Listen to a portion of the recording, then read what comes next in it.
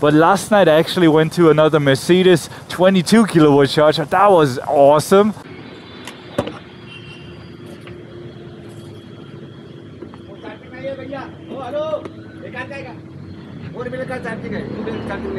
What? What's the problem? No problem. All good.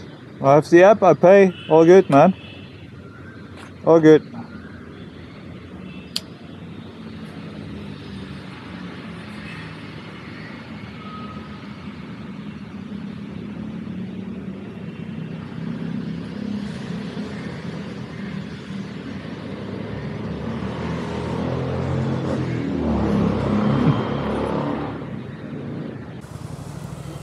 Oh, it's green now.